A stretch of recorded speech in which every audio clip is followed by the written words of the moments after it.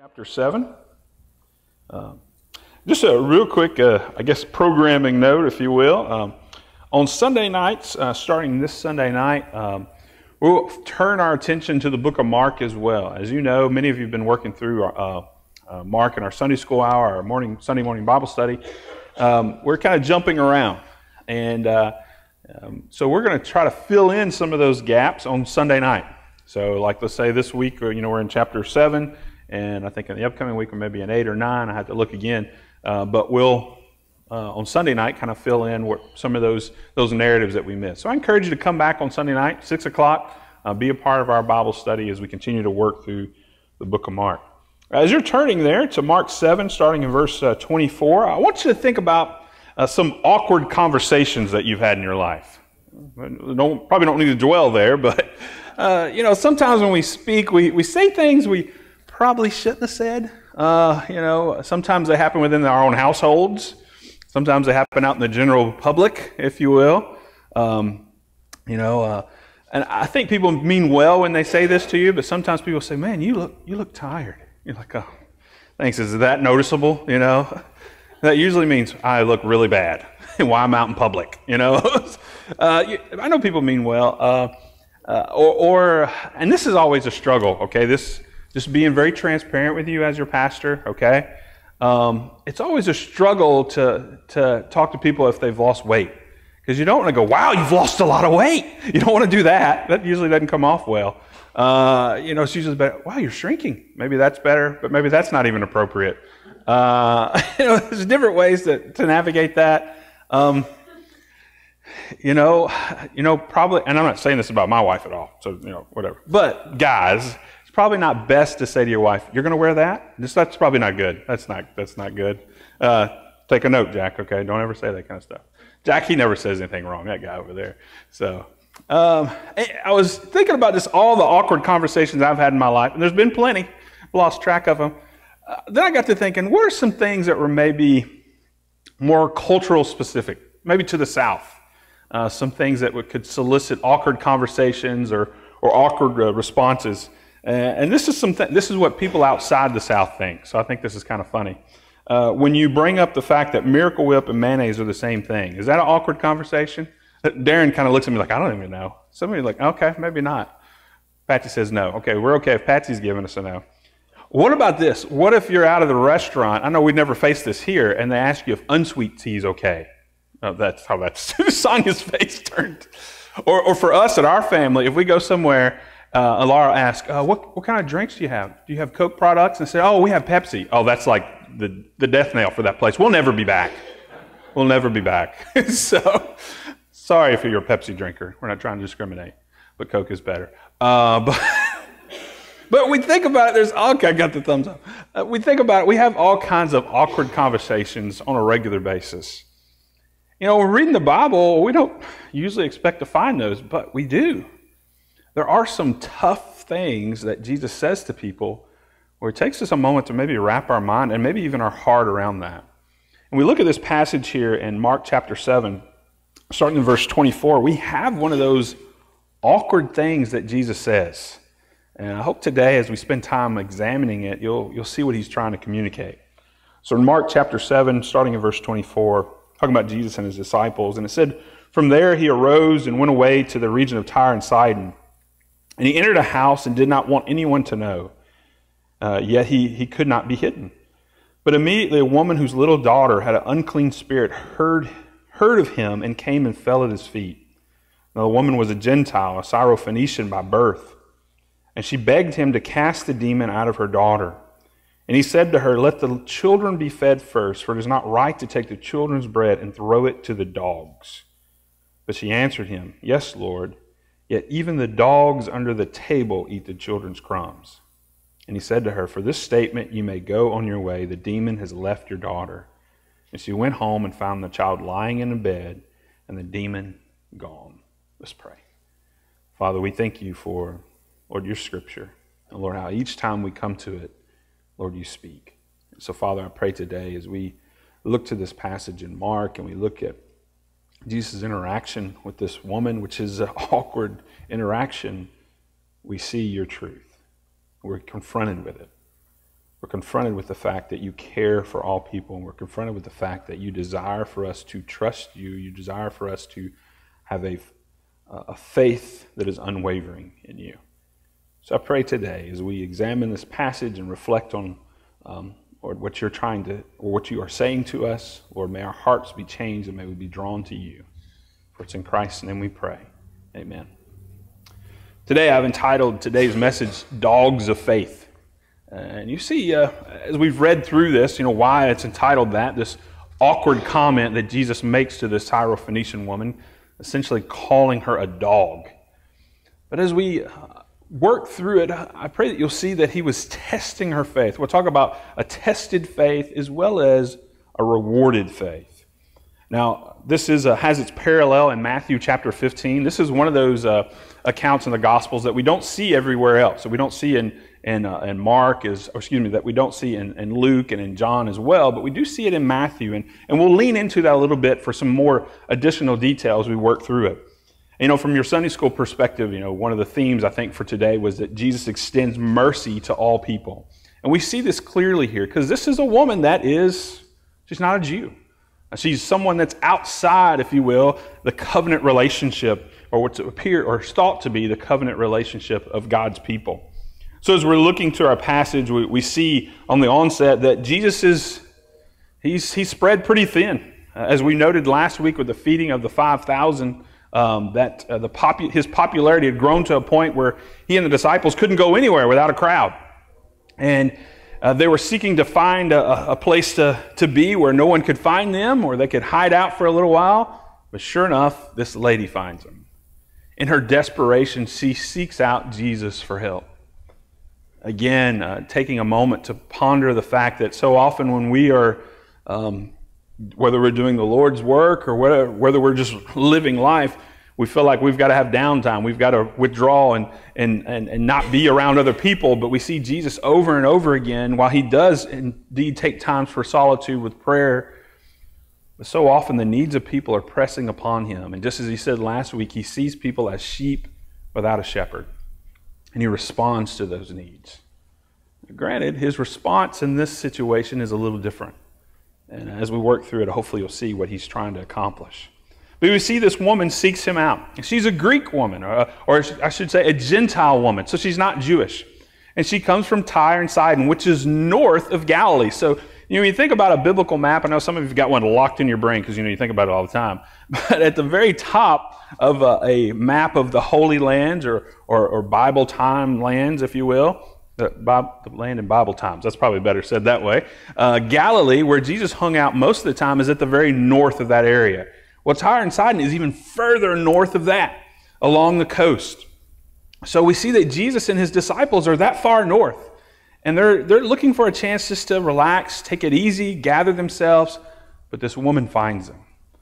Now, the fact that she's from this neck of the woods, if you will, she's Syrophoenician, as it says here, she most likely participated in the worship of those type of gods. And those gods were, were Baal and, and Ashereth, those that were focused on the sun and the moon and, and fertility rites and things that were very um, physically driven in the way they worshiped, uh, as far as uh, activities and, and really immorality. So this woman is likely a, a participant in those things. But as we see here, she has come to Jesus because she's got a problem that her gods can't fix. She's got a problem that she cannot fix. In fact, if we look over at, at Matthew's gospel in Matthew 15 22, when she comes to Jesus, she makes this comment Have mercy on me, O son of David. So she's gotten to the point where she's realized again her religious background's not working. The way she's approaching things is not working. So here in Matthew 15, we see that she's embracing this idea that this man, this Jesus, may be the Jewish Messiah. He may be the one my Jewish neighbors have talked about for long ago that would, would come and bring peace, that would bring sight to the blind and rescue the downtrodden. This is him.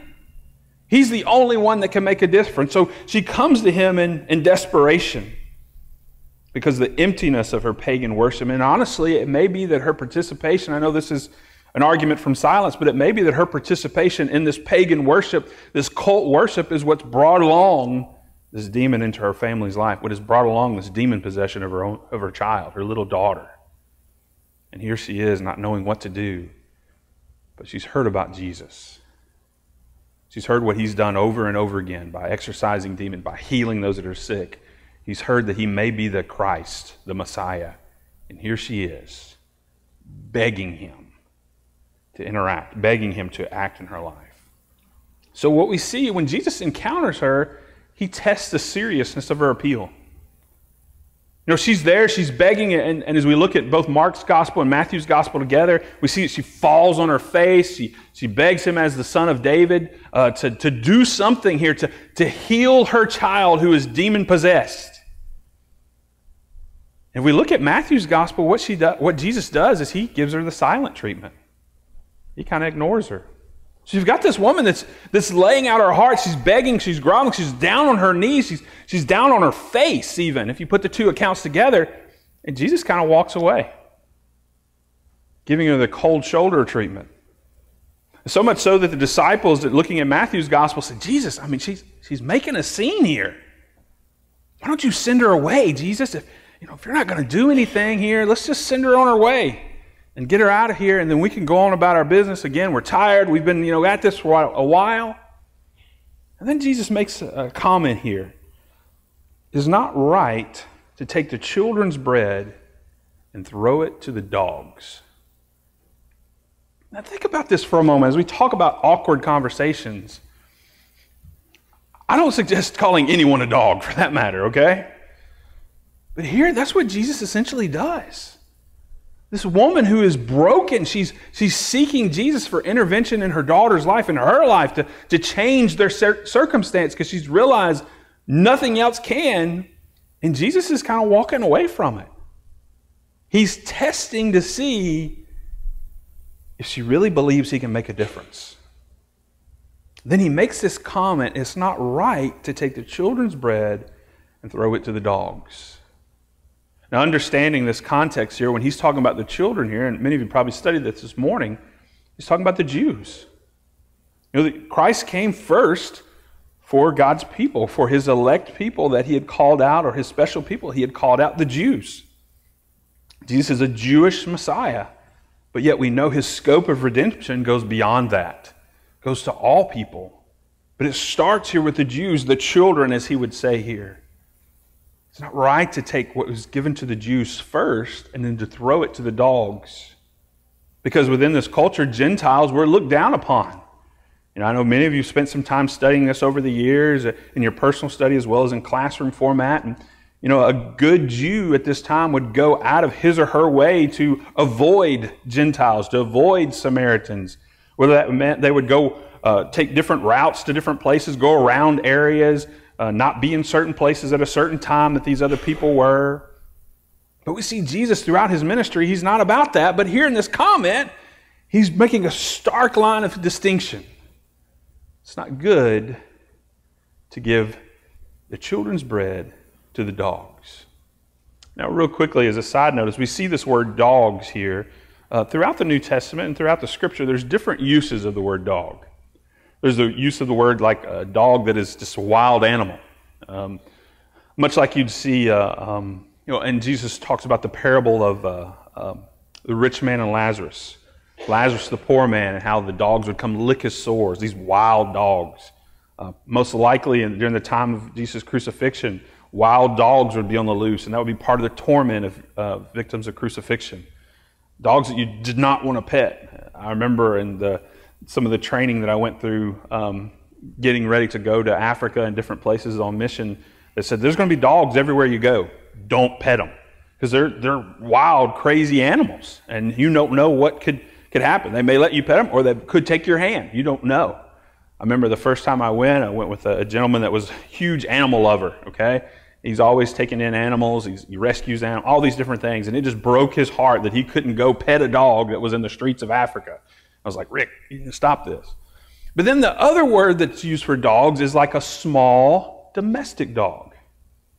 Here in this passage, we have that word, a small domestic dog, maybe even rendered puppy. Here, Jesus is saying, it's not right to take the children's bread, children's bread and throw it to the puppies or to throw it to the household dog. Now, I'll, you know, I guess comedic side of this, I, you know, as I'm working on this, I'm thinking about it, and then I've got Samson at our house, who's we've given up on training. I think he's training us, you know, that type situation. May need to bring Tom in for this, bring in the big guns. You know, trying to figure out, you know, he, he's the one that wants to get up on the table and eat your food, or puts it, he, he nuzzles up beside you and puts his arm, his, uh, his, his nose right between your, your arm and your, your body and kind of nuzzles in there like he wants to eat. You know, it's not that type of situation. We've got a dog that's hiding up under the table that's just waiting for crumbs to follow, to fall. That's what's, what Jesus is explaining here. So he calls this woman a dog. He says, You're just, you're a puppy.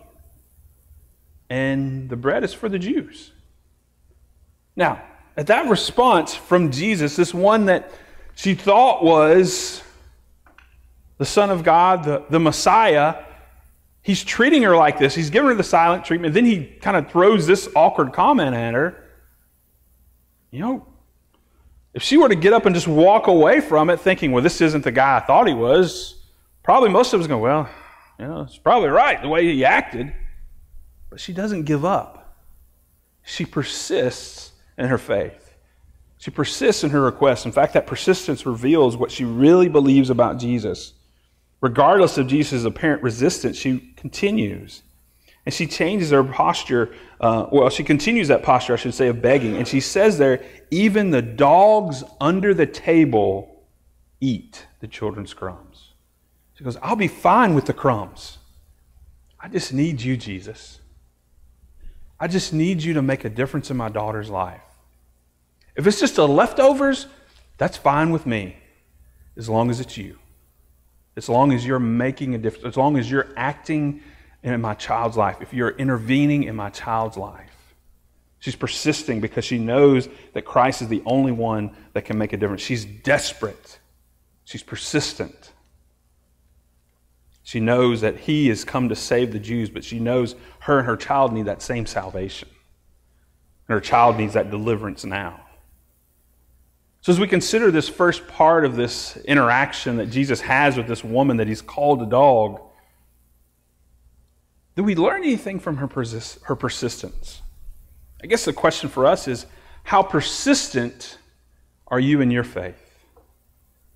How relentless are you in pursuing what God has for you? Do you really believe that Jesus is the only one that can make a difference in your life? Do we expect Jesus to make a difference in our life?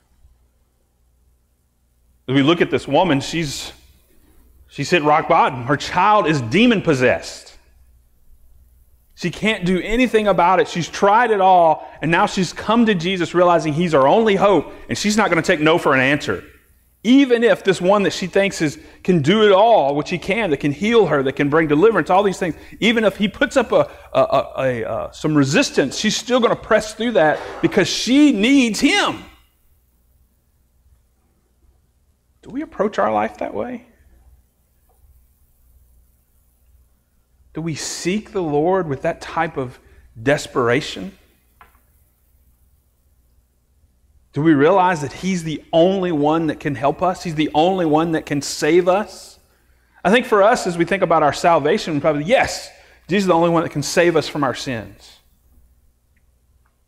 But when we live our everyday life, this morning, our foundations class, we we're talking about the Lordship of Christ, allowing God to be the boss of our life, living under His authority, underneath His Lordship. That happens when we realize the only one that can really truly direct us in our life, that only can really lead us, is Him. So we need to pursue after Him in such a way that we realize He's the only one that provides guidance, wisdom, uh, insight for life that, that, that can make a difference, that can, that can help us, that can empower us, that can give us that, that victory that we need to move forward. Or do we say, you know, we know that Jesus is the only one that can save us, but I think I can figure out my life. I can face this, this situation at work on my own. Or I can deal with this issue in my family all by myself. Or I can try to. Or, or we like this woman and say, I can't do it. Here it is, Jesus. And persist in that. expecting Him to work, expecting Him to, to bring change, expecting Him to reveal His glory in the midst of those circumstances. This woman's pushed away, essentially, and says, Why would we give the, the children's bread to the dogs? She says, I'll take anything I can get, Jesus. I need you. Do we have that mentality? Do we have that posture of our heart that we need Jesus every day? It's only then that we really live a life that's submitted to Him. We realize that if it's left up to us, we're going to make a mess of it. We need Him every day. We need Him in the big things, we need Him in the small things. We need Him to reign over our life. We see how Jesus responded here to this woman. He kind of pushed her off, if you will, tested her appeal, tested her faith by talking about her being a, essentially a dog and says, I'll take the crumbs. And then what does Jesus say? He says, For this statement, you may go your way. The demon has left your daughter. And she went home and found the child lying in bed, and the demon had gone. Jesus saw her persistent faith. She saw that she was desperate, and he responded to her appeal. He saw that she truly understood he was the only one that could save her. She truly understood he was the only answer to this question that went unanswered for her for so long. And when that became a reality, he brought healing. In fact, we look in Matthew 15, Jesus says this, O woman, how great is your faith when, he see, when she says this statement. Be it done as you desire. And Mark, says, Go on your way, your daughter is healed. Now, as we consider this, uh, here, this miracle by distance, know, our heart and mind may be taken to other incidences where we see that, where Jesus is, encounters someone and they come to him, like the, the Roman centurion and also a Gentile who comes to Jesus and says, My servant is ill. Uh, will you heal him? And Jesus says, Well, I'm on my way. He goes, No, you don't even have to come to my house, Jesus. I know that if you say it'll happen, it'll happen. Sure enough, Jesus acknowledges how great his faith is. In fact, he says, There's no other faith like this among the Jews and he heals the man's servant from a distance. Also, we see an official come to Jesus, similar circumstances, and says his son is sick and wants Jesus to come with him. And Jesus says, If you believe, I'll heal him right here. And sure enough, Jesus heals him from a distance. Jesus realizing or revealing just his power and, and just his ability to, to change lives if faith is a part of the, is a part of the equation if we simply believe and trust that He's the one that can change things, He's the one that can make a difference. Of course, we understand that again, we think about our own situation, we think about our sin, and we understand that He's the only one that can rescue us from our sin. We, we can't do that on our own. We, there's no amount of good works, there's no amount of good deeds or righteous acts that we can do to, to wash away our sin. We understand that He's the only one that delivers us there. But then when it comes to everyday life, again, continuing to persist and submit to God and allowing Him to work in us, to reveal our faith, and then reward our faith by His actions, by Him bringing the answers that we desperately need. And sometimes those answers, as we've talked about in the past, talking about the different healings that Jesus done, may not be exactly what we're expecting. But it's His perfect response.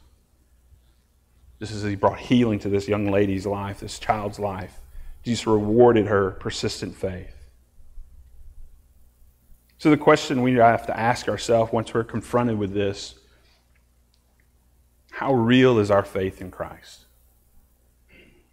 Do we truly trust Him for all of our existence? We truly trust Him to forgive us of our sins? If we have, that means we are giving Him our life. And we expect Him, we acknowledge that He's the only one that can make a difference in who we are in, in our everyday life. He's the only one that can bring healing uh, to, to us and, and our brokenness. He's the only one that can restore relationships. He's the only one that can take the tumultuous things of our life, those storms of life, and bring peace. This is this woman who would not give up because she knew Jesus was the answer. Even though she was called a dog, she was willing to do whatever just to get the crumbs because she knew that Christ was the only one that could bring hope to her hopeless situation. You know, here this morning, you may be struggling, maybe struggling with hopelessness, trying to figure out what the next steps in your life are, trying to figure out uh, how to how to, to begin to heal a, a broken relationship or or how to um, to navigate through a dark passage in your life. Just like this woman, come to Jesus. Persist in your faith. Jesus says, if you ask, it'll be given to you. Seek, and you shall find. Knock, and the door shall be open to you. But we've got to ask, we've got to seek, and we've got to knock. Are we willing to do that? Let's pray. Father, I thank you for this, this example of a persistent faith. And so often as we look to Scripture, we find those examples to, that spur us on from unlikely places, as we do in the Syrophoenician woman. Lord, I'm so thankful for it. I'm so thankful that it reminds us that we are to be relentless in our pursuit. So, Father, in that relentless pursuit, sometimes we get a quietness and wondering if, if you've forgotten us, wondering if maybe you've abandoned us. But, Lord, over and over again, your scriptures remind us that if we draw near to you, you'll draw near to us. So, Father, I pray for some of us this morning to, Lord, to throw off the shackles of their schedule or, or, or just uh, circumstances they find themselves in. And, Lord, I pray that they'll draw near to you. And, Lord, as they do, they'll be rewarded by uh, sensing your presence in their life, be rewarded uh, by seek, uh, you working in them in a way that only can be done by you. And, Lord, for others of us in this room, Lord, that Lord, we know that we're trusting in you for our salvation. We know that you're our only hope. But Lord, we find ourselves living the day to day in our own power. Lord, forgive us. Help us to understand, help us to realize, help us to trust you and pursue you relentlessly, knowing that you're the one that get, provides insight. You're the one that provides wisdom on how to, how to face every day. For you call us to be your to serve you. Lord, you call us to submit to your lordship. So, Father, help us to see what that looks like. Help us to see what it looks like to live in complete faith and trust in Christ. We thank you for your word and this time in it. It's in Christ's name we pray. Amen.